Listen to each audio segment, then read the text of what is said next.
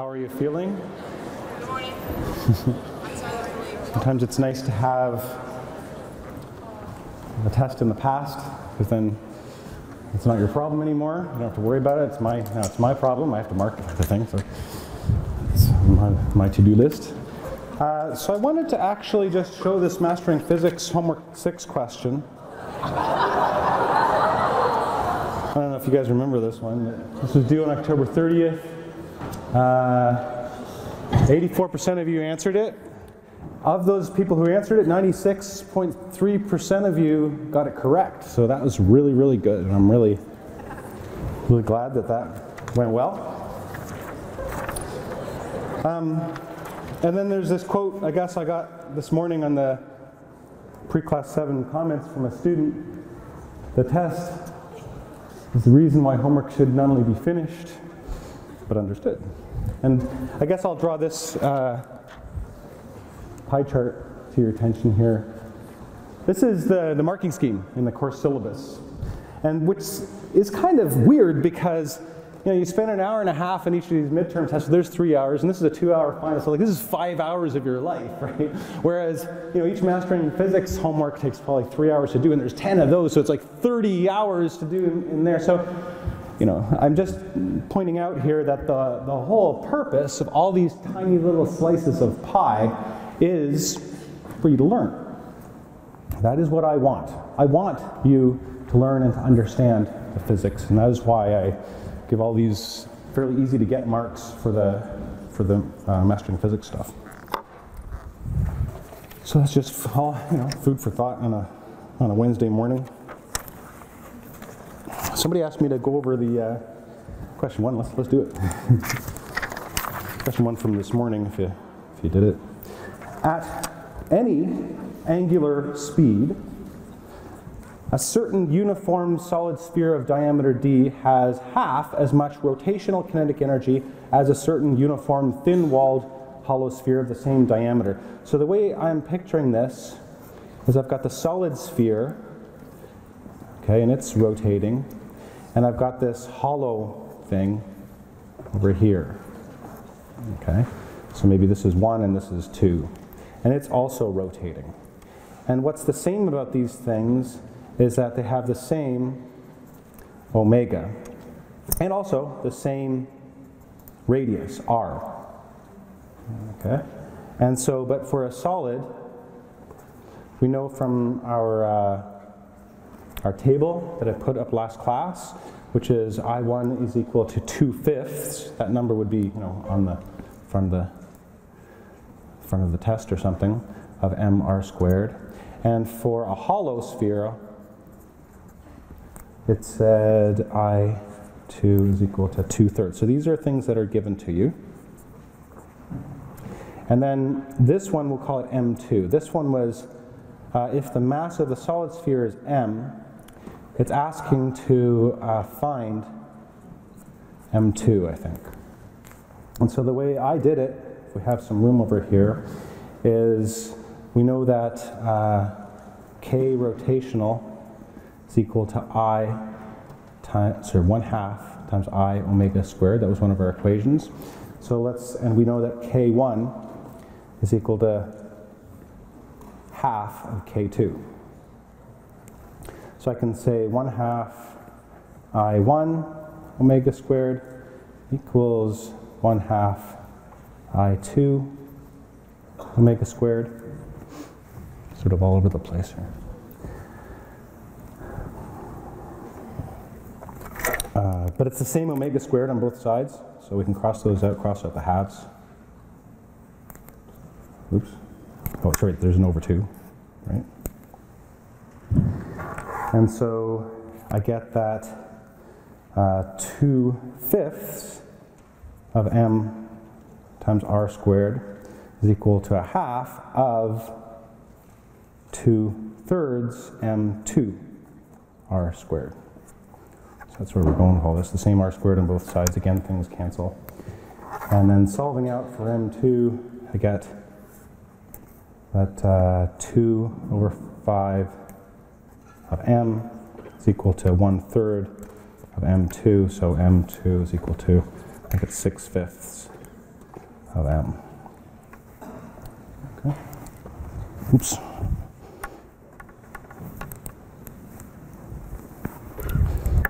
Okay.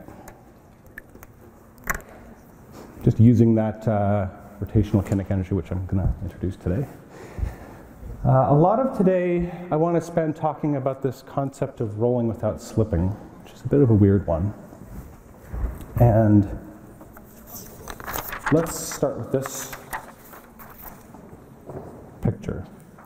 And I'm going to tell you, whether you believe it or not, see that really, really fast car? Right now, that car, let's say it's going 200 kilometers an hour. It's really cooking along. But there are four points on that car that are, that are at rest. You know where? It's the bottoms of all four tires, no matter how fast it's going.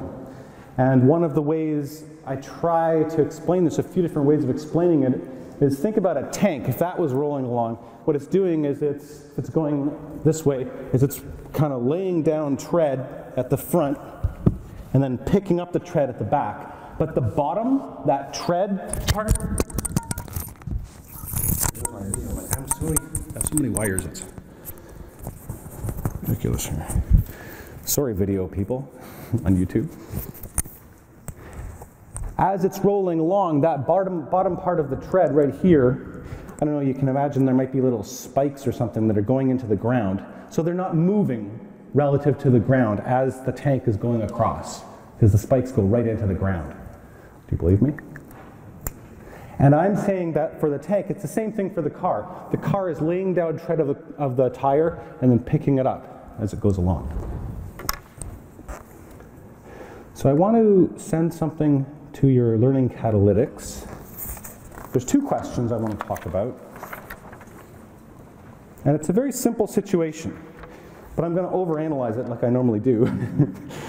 so, you're sitting in your car, Maybe you're at a stoplight, the light turns green, so you step on the gas pedal and the car goes. So let's analyze the heck out of this situation. all right, so first of all, your car is changing its momentum. It's speeding up, it's accelerating. So there must be an external net force on the car from something else in the universe. So like F1 on 2. One is something else, and two is the car. And remember, by Newton's third law, there's going to be an equal and opposite force of the car on whatever that thingy is. I think it's one of these five things. Can you choose?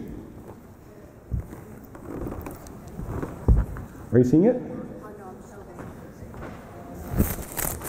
I'll give you a minute to think about that and tell your neighbor what you think. So yeah, so it has to be an, an external thing to the car in order to add momentum to the car and accelerate the car. So the engine's inside the car, so it can't be the engine. Uh, air could be. It can't be the gas pedal. And I don't think that there's an invisible string on the front of your car. So it's either the air or the earth, but it turns out it's the earth. Okay? It's not the air. Now there are cars that could work this way. You could have a giant fan on top of your car. Like sometimes you see those boats that go around in the swamps or you know, hovercrafts or something like that. They have a great big fan. And then it is the air is the external um, object. But let's do another one. Second question. Same situation as the first, but now a different question. Okay, so we know it's the Earth. So here's a list, a giant list of all the different forces that you've learned about in this course so far, right? Uh, so which one is, is it? It's one of these. Give you a minute. What does the survey say here, actually? Oh. Never find it. Uh, wow, so you guys are pretty good. yeah, believe it or not, it's actually static friction. So, um, and I, the way I think of it is that if you were on a horizontal flat surface is completely icy and you step on the gas, your wheels would just spin around and you would, your car would not accelerate. The external force on your car is coming from static friction. And that's, that's also what causes me to accelerate if I run, right? I run like this. It's the static friction on the bottom of my shoes from the floor which is causing me to go forward. So, well done. All right, so now next thing I want to try to do is talk about uh, how this works. And I'm going to use that piece of tape right there and think about the two different ways it can move. So we've spent most of this course talking about translation, where something moves along. And now we have rotation, where that's you know sort of positive rotation or negative rotation, something can rotate. And rolling without slipping is just adding the vectors of these two types of motion. So we can draw it out. Uh, let's talk first about uh, translation.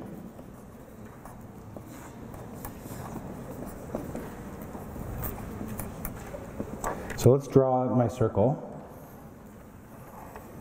like that. And there, this one doesn't have an axle, but it might have an axle in the middle.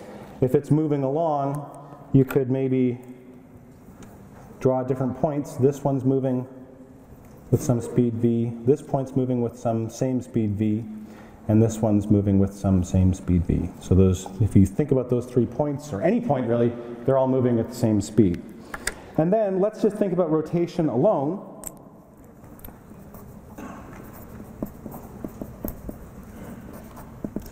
So the same object now.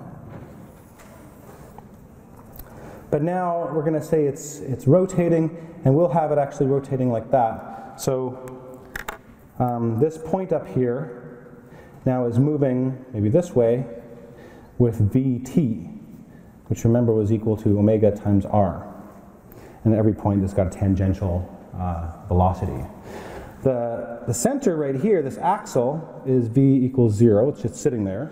And the bottom point is moving, since it's, this one is clockwise rotation, it's actually moving to the left with vt equals omega times r. So what we're going to do is we're just going to add, these are actually all vectors. I should have drawn little vector signs on all these. So we can add the vectors, these three vectors. So let's add to have something that is both translating and rotating. And what we're going to do is we're going to have this, um, the trick is, the trick, or the constraint, is set uh, v equals to uh, vt. This v over here equals vt, which is omega times r. If you do that, then what you get is the top point is now going v plus v, it's going 2. 2 uh. Okay? And then the middle point is v plus 0, and so this one is going at just vt. And then the bottom point, well, now you have equal and opposite vectors, and so the bottom point is v equals 0. That's how that works. And then all the other points that I haven't mentioned are going at some weird diagonal. Like I guess maybe you could look at this point over here. Uh, that would be going, it's still got a V and then plus a V down, so it would be some sort of weird diagonal where this is like root 2 of VT or something. But anyway, we can do it with the actual um, uh, piece of tape. So what I'll do is I'll put a little ruler on there, if you can see it, and I'll start it right here at zero and roll it along. It goes like this, rolling, rolling, rolling. That's half a roll until it gets to one complete rotation. It ends up at here. Okay? So that was one rolling. And what, how far do you think it went? It went the circumference in one complete roll from here to here.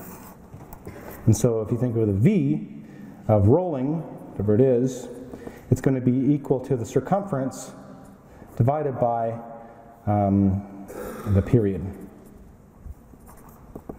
Okay, so it's 2 pi r divided by t. And another way of looking at that is rearranging this, it's 2 pi over t times r. And I don't know if anyone remembers what this is called. It's not w.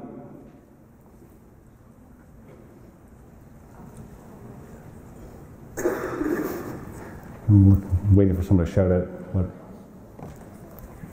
Oh, I didn't hear. Oh, yeah, anyway, it's omega. So it's omega times r. Okay. Didn't wait long enough. So rolling without slipping kind of looks like this. And I've, this one I've sort of drawn the tire part of the car kind of flattened a little bit, but just to remind you of the tank, I guess. The bottom's not moving. Under normal driving conditions, the portion of the rolling wheel that contacts the surface is stationary, not sliding. Whether you believe it or not, it's definitely true. If it was sliding, you would know it because you would, you would hear this big screeching sound, right? And, and also, if you've just got kinetic friction, it can only go opposite the direction you're going. And so you wouldn't be able to steer, you'd probably end up in the ditch. Static friction can go any direction, that's why it's the most useful form of friction when you're driving, if you want to control your car. V is circumference divided by the period.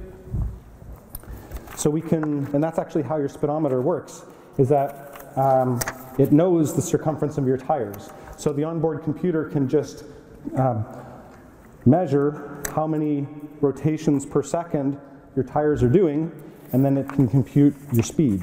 So what I'm trying to imagine showing here is something like here's the road, it goes around one whole time, and this is your 0.9 meters. Then it goes around one whole other time, this is another 0.9 meters. And it, it just counts those. And so the frequency, which is 1 over period is equal to 10 um, rotations per second. And, uh, you know, so the t here is equal to 0.1 seconds. And so v being the circumference divided by the period is 0.9 meters divided by 0.1 seconds, so it's 9 meters per second. And then it can convert that to kilometers per hour and show it on your speedometer. And that's why if, for example, the effective circumference of your tire decreases because you, you know, have less air pressure in your tires and you're down a little further, your speedometer won't be exactly correct. And so if you're looking at the difference between your GPS and your phone speed and the speed you actually see on your speedometer, the GPS in your phone is using those satellites and actually trying to find out how far on the earth you moved. It's usually actually more accurate than, than your onboard computer. So they're thinking of changing speedometers to, to use GPS. But. Okay, and then when you, this was the equation we just wrote down before, which was this V of rolling without slipping is omega times R. Super useful equation. Also, how far you travel is the theta, how much that object rotates times r. And also, the acceleration of the object is equal to the angular acceleration of the rolling object times r. All you do is times it by r. So what I call these are the constraints. So I guess the constraints of rolling without slipping. I, am just repeating the title here. But the point being that if you're doing a problem and you know that something is rolling without slipping, and you've run out of equations and you can't solve for the unknown, then you can, if these are on your aid sheet, you can say, haha, I know it's rolling without slipping. I could use any of these three equations as well. And maybe that'll help me get the answer. You can sub in. Usually you're trying to eliminate omega or, or alpha. I can give you some examples of when that works for you.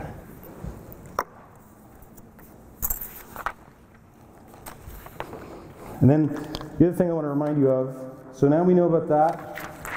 This is just to remind you about the rotational kinetic energy equation, which we've gone through a few times. It's uh, 1 half I omega squared. So what happens if something is both rolling, or both rotating and moving translationally, is you just add the two kinds of energy. You have, that was this plus this. So you have 1 half mv squared of the translation plus the 1 half omega squared of the rotation equals the total energy of the rolling without slipping. Because if you were to stop it all of a sudden, you would have to stop the V and stop the omega. So they just both add up. I'll give you an example of that. Example. A 0.5 kilogram basketball is rolling along the ground at 1 meter per second. What is its energy? So let's just draw it. There's the basketball, it's going along. Um, so we'll say V is equal to 1.0 meters per second, M is equal to 0.5 kilograms.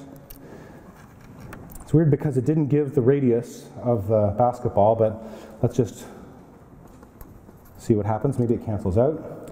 The kinetic energy is the K translational plus the K rotational. And I'm going to use the fact that it's kind of like a hollow sphere, so because it's just got air inside it, that I is equal to 2 thirds mass times r squared. Don't know what r is, so I'll put question mark. I'm wondering if that's a problem or not. And then I'm also going to use a rolling without slipping constraint. The important one here being, I've got V, so I can find omega. It was that V is equal to omega times R, which means also that omega is equal to V divided by R. So if I write down the kinetic energy, it's 1 half m times v squared plus 1 half i times omega squared. So now what I can do my blue pen just to remind me what my next step is. I'm going to take the I from up here and go and put it in right there. And I'm going to take the omega from here and and put it in there and see what I get. Because I want to get rid of the omega and I want to get rid of the I. And see what cancels. So it's 1 half mv squared, I'm not doing anything to that, plus 1 half of 2 thirds mr squared times v over r all squared. So I have to, uh, it's two, um, 1 half mv squared. Something's not quite right here. Yeah, a half times 2 thirds, you times this in, and you get 2 over 6 of m times r squared times v squared over r squared. Oh, yay, look, the r is canceled. so the fact that they didn't give you an r is not going to be a problem. And then it's 1 half mv squared plus 2, 6 mv squared. So it's 3 over 6 plus 2 over 6 all times mv squared. So the kinetic energy is, is 5, 6. And we have m and we have v. So it's 5, 6 of 0.5 kilograms times 1, all squared. And on my calculator, which I don't have because I gave it to somebody at the test last night, so I did it in Excel, uh, it's 0.42. Okay, so that's an example of using the rolling without slipping constraint in the middle of an equation or in the middle of a problem. I pulled this out of almost seemingly nowhere. It came off my aid sheet because I know that the basketball is rolling without slipping. Okay. It was on the, um, was a question this morning Question three. Want to look at that? Consider a uniform solid sphere of radius r and mass m rolling without slipping. Which form of its kinetic energy is larger? Translational or rotational? So it's the same sort of thing. I'm going to use that the solid sphere is I is equal to, uh, it's two, what is it? two fifths? Now I'm forgetting. what was it? Got the wrong thing written down here. Who remembers? Something. Is it two thirds? Um, just yell at me if I'm wrong. Anyway, the point is that K translational is equal to 1 half mv squared, and K rotational is equal to 1 half I, which you get from up there, times omega squared. So it's going to be 1 half of, if I'm right about the solid sphere, 2 thirds mr squared times omega is just v over r, because it's rolling without slipping, all squared. The r's cancel, and you end up with, uh, again, 2 over 6, right? mv squared. And that is less than, than a half. A third is less than a half.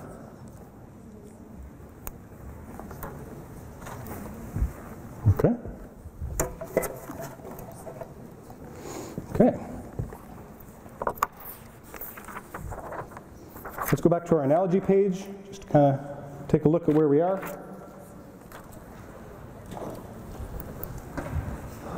So back in linear or uh, linear or translational motion, we had position, velocity, acceleration. When you're talking about rotational analogy, you got theta, omega, and alpha. The translational cause of the acceleration is the force. The rotational cause of the Angular acceleration is torque. The thing that resists translational acceleration is called your mass. The thing that resists rotational acceleration or angular acceleration is called rotational inertia. So that's, that's where these two equations come from. And now you've got kinetic energy, where you've just sub substituted in, instead of m, you've got i, and instead of v, you've got omega. So let's actually list some different forms of, of energy that you could put in your conservation of energy uh, equation. Uh, there's good old 1 half mv squared, if it's translation, if the center of mass is moving along. You've got gravitational potential energy, mgh. You've got spring potential energy, the 1 half kx squared, where k is the uh, spring constant. Now you've got, if it's rotating, you've got uh, rotational kinetic energy. There's thermal energy, which is usually the work that was done by kinetic friction, the, uh, force times distance of the kinetic friction. So an object can possess all of the above. And I know if you can imagine maybe a, a potato that is going up a hill and it's rotating and sliding and attached to a spring. Well, it's got all of these things. I don't know. And work can be added to the system or taken out of the system if you have uh, an external force. Okay. We're ready to do this demonstration. This is a picture of it, but we're going to actually do it, and I'm going to ask you to predict the answer.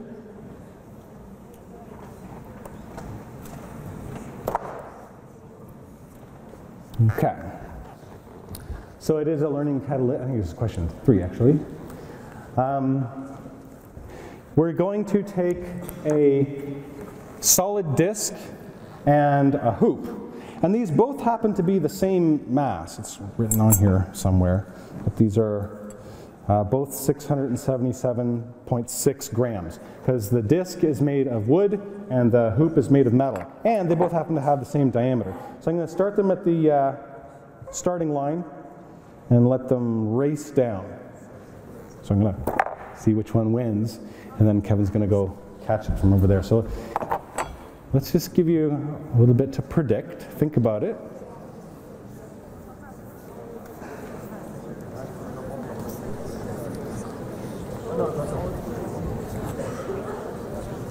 What's the little inset?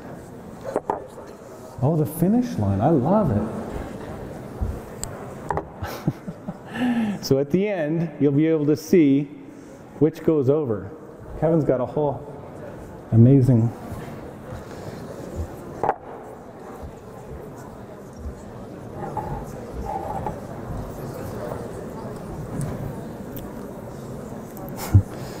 it's from the forests of southern Ontario. You have disc made of wood, very smooth, and from Sudbury, made of nickel. You have hoop Will, inca- will roll without slipping. Who will win? Only you know. Okay, vote. All right, let's vote. Well, I'm not going to stop the delivery because it'll show the result. Well, let's stop. Okay, going once, going twice. Stop. I think it's a stop. And let's try it. I'm going to put the hoop in front. And marks. Get set. Go. Wood wins. Okay. the disc wins. Interesting. The disc wins. So back to that slide, it says nature's not a democracy, so, so definitely disc wins. Disc always wins. But we're going to try to think about why does the disc win. And I'm not going to tell you till the final, the end, I guess, maybe when we, there's a few different ways of thinking about it, but we're going to calculate it. Want to do another one? Let's imagine a different kind of situation in which you have a solid disk versus a box. You think maybe the box would not even go at all, but the box is frictionless. Which wins? So we don't, we're not going to do this demonstration because I don't have a frictionless box. But uh, so this is a thought experiment. And I think the thing I want you to think about is if you're rolling without slipping, is there friction? And if so, what direction is the friction in? in? So this was fairly split, um, but 48% of you voted that the box wins, and that is what I believe. So, two ways of thinking about this. First of all, I mentioned friction and asked you the question, is there friction in rolling without slipping? Yes, it's called static friction. And it can act in any direction, as it turns out. So, in the case of the disk rolling without slipping down the incline, it's accelerating, which means that it is rotating clockwise like that. So, and its angular acceleration must be clockwise. So the torque on it must be clockwise, and that's from the static friction. So which way is, this, is the torque from the, the static friction on the bottom? I think it's up the hill. So the static friction is up the hill, so it's going to slow it down. Another way of looking at it, which was pointed out by this guy in the front row, which is a good one, you start off with all your energy in mgh, because it's not moving. And then at the end, with the disk, it has to share whatever it lost in UG into partly the translational kinetic energy. I put K lin, but I mean, you know, translational, linear, I guess, um, plus K rotational. Whereas with this one, the same amount of energy is lost when it gets to the bottom, but it can go all into uh, the translational.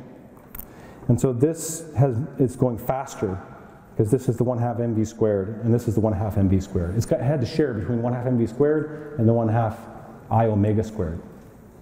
Make sense? This question? Then it won't, so the question is if the, if the top incline was frictionless, what would happen? Well, it wouldn't rotate. It would just slide without rolling. Slip without rolling or something. It would just be a, a circle which would just, it wouldn't want to rotate. You would release it from rest, it would just slide all the way down. Can you imagine? The only reason it rotates is because it's getting stuck to the wood and it's got some torque from the static friction which is causing it to rotate. It's a great question. Okay, we're going to do another race.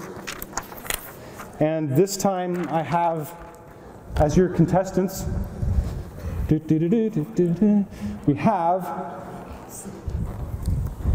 cream of mushroom soup versus chicken broth. What is the same? Well, they got about the same mass, okay? They also are about the same shape, okay? However, what is different? Cream of mushroom soup is a thick paste. So shake it around. You can hear that thick, gooey cream of mushroom soup in there. It's sticking to the inside of the can. However, chicken broth. If you can hear it. Okay, it's uh, it's definitely like water. Okay, it's just it's low viscosity, just sloshing around in there. Who will win? Oh, I have to deliver. so it's a learning catalytics question. Please make a prediction. And then we'll do it.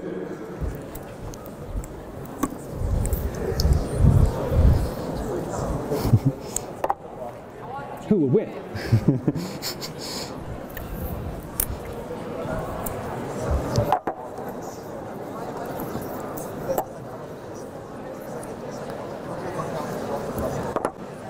I'm going to leave the voting open actually. Let's just do the race. So I've got chicken on the front versus mushroom on the back. On your marks, get set, go. Boom! The chicken wins. Chicken always wins, by the way. Which one is it?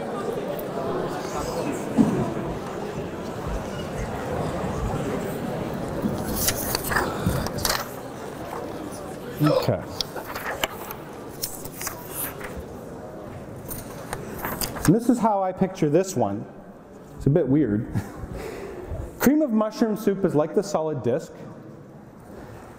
and the chicken is kind of like what you imagined before, something frictionless. The chicken broth does not need to rotate.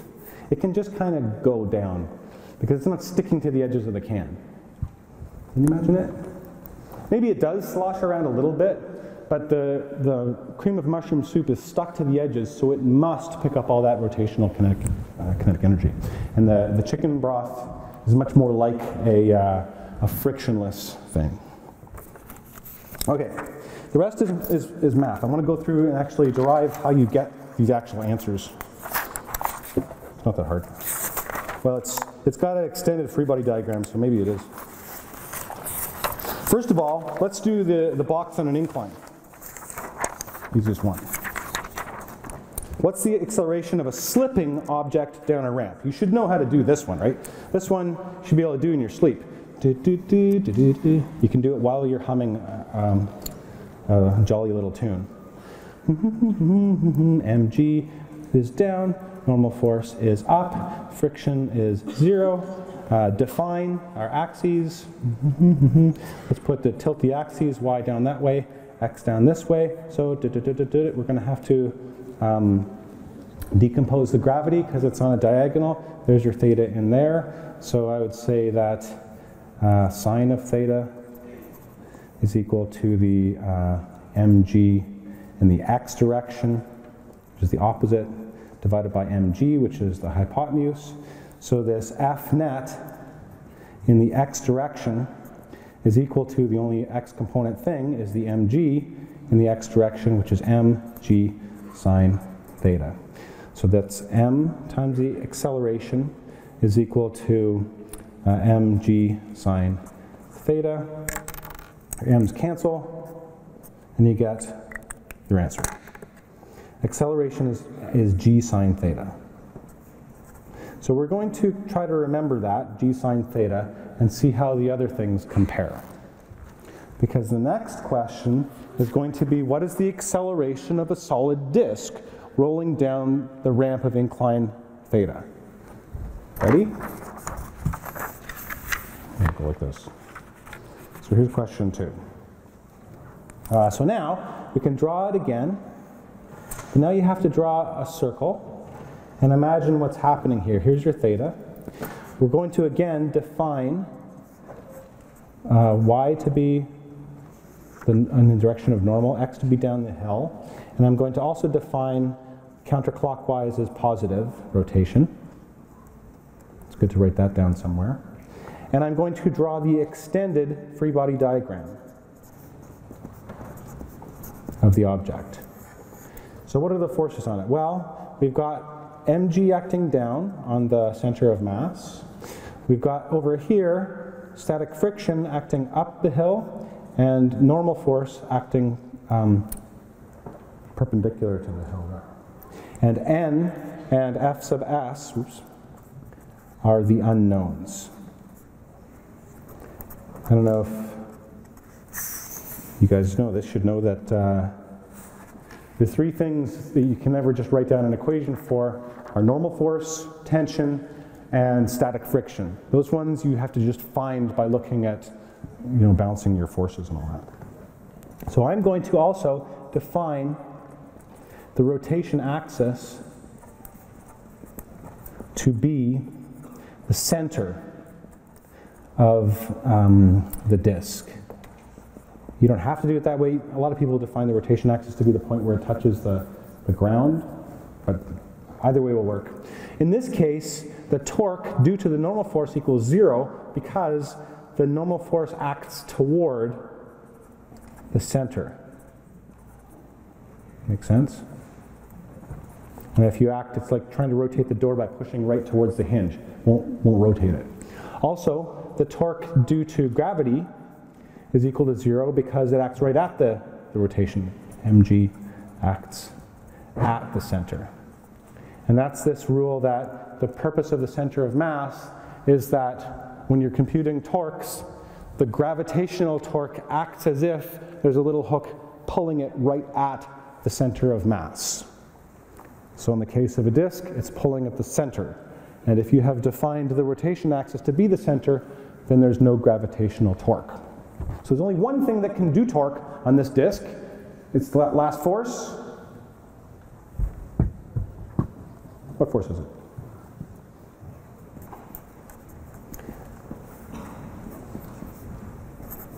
What force causes a torque? on this extended object. Why is it rotating as opposed to sliding along? Static friction. Very good.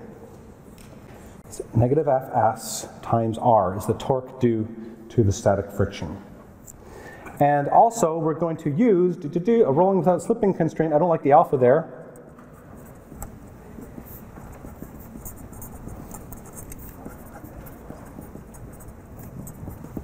Which is that alpha is equal to A divided by R. And so I can plug this into here, and I can get that the negative Fs times R, the negative comes from the fact that it's clockwise, is equal to I times alpha over R. So I can solve for the static friction is equal to negative of I times A divided by R squared, where A is the, that acceleration and just moving this along a little bit, I can say that um, F net in the x direction is equal to mg sine theta, that's the gravity component, minus the uh, F sub Fs, which is up the hill. And that's going to be equal to m times a. So a is equal to g sine theta just divide both sides by m minus i times a divided by m r squared. I'm just going to solve for a. And I get collect like terms of a over on one side, 1 plus i over m r squared equals g sine theta. So the a here is equal to g sine theta divided by 1 plus whatever the rotational inertia is divided by mr squared. Okay, so that's a nice equation. And in our case of the solid disk, you get um, I is equal to half mr squared. And so A is equal to um, g sine theta divided by 1 plus a half mr squared divided by mr squared. It's equal to g sine theta divided by 1 plus a half. So it ends up being 3 halves. So you get a is equal to 2 thirds of g sine theta. And that is less than g sine theta for the box. That is why the box wins. Because it's going down with g sine theta, whoops.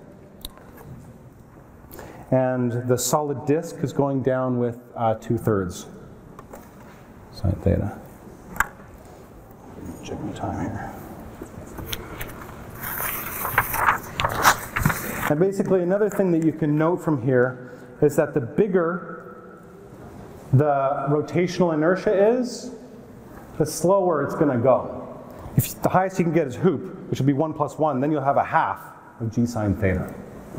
If you look at this little i right here, i is on the bottom, so bigger rotational inertia objects for the same mass will roll down slower without slipping. I will post those. Um, coming back on Monday, please read chapter 11 or and or watch this pre-class video. And something to think about, we're talking about uh, a figure skater. Figure skater starts with her arms outstretched and rotating, and then brings her arms in, and her omega increases. So why is that? And have a great weekend, and I'll see you Monday.